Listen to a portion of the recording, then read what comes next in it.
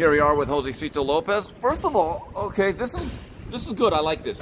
You don't have a fight schedule, but you're in the gym. That's a good sign. What do you got planned? You think?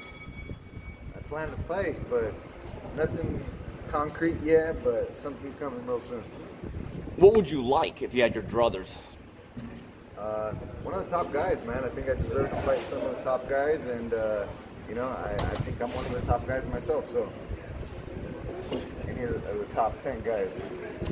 Let's go back to your fight with Keith Thurman. Uh, that you had a moment I thought was great. I think it was like the ninth round, was it? Seventh or eighth, ninth round. What do you remember about that fight specifically? He's out on his feet, man. He did a really good job uh, surviving. Know, I, I, he, he was really uh, smart and was able to survive. So I give him props for that. And uh, just knowing that I was one punch away, man, I, I just couldn't couldn't connect that one punch that I needed. Have you replayed that round or the subsequent rounds in your head a few times about how you may have should have approached that differently to actually finish that fight? Um, yeah, I've gone back to it a couple times, but just, just like that. Like watching it, so uh, you know, I just know that I was one punch away, man, and I couldn't, I couldn't connect that one punch, and he, he did a really good job surviving.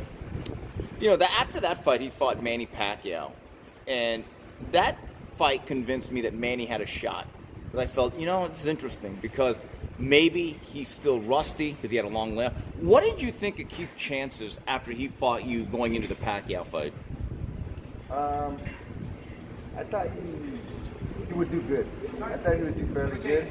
Um, I, uh, honestly, I thought his chances were good, you know, 40, 50%, you know, uh, you know, I'm in his favor. So that he had a good chance. Uh, Manny Pacquiao just still hadn't seen him in, in a little bit of time, so you know, curious to, to what he would bring. But Manny, Manny's Manny, and so he did his thing. Strong, fast, quick leg feet you know. So it was a whole Manny. You're still relatively young. How much longer do you want to do this, Jose? So I can't fight anymore, man. So I can't compete with the top guys. Uh, you know, I'm still fighting. I'm doing it again. I feel feel the best I felt in a long time. So I'm still fighting.